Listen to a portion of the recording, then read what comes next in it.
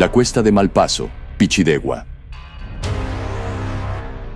Después de la batalla de Rancagua, el diezmado ejército chileno huyó a Mendoza y los escasos patriotas con ideas libertarias que quedaron en Chile tendieron a pasar inadvertidos para evitar las represalias de los realistas. Pero algunos, como los hermanos Carrera, conjuntamente con Manuel Rodríguez, se encargaron de reactivar el espíritu patriota, organizando una guerra de guerrillas que hostilizó constantemente a las fuerzas enemigas en la región de Colchagua y cercanías.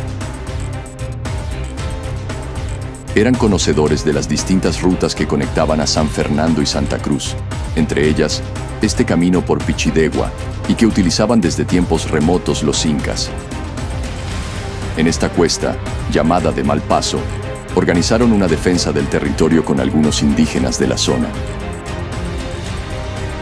Desde la altura del cerro provocaron un derrumbe de tierra y rocas que cayeron en medio del destacamento español, arrastrándolos hacia el río.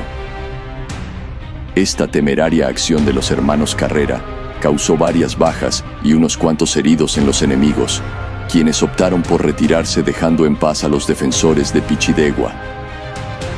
Los españoles desde ese momento llamaron mal paso a este lugar.